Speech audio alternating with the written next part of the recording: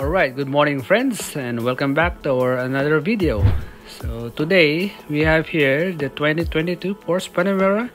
So in our today's video, I'm gonna show you the reason why we don't warranty a tint on Porsche Panamera. So this is the only reason why. So you see this um, felt right here. This is a pure rubber.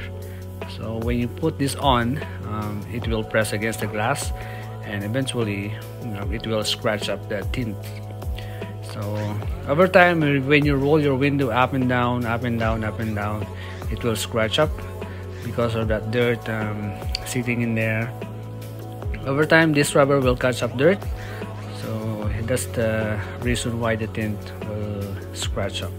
So yeah that's pretty much for our video for today.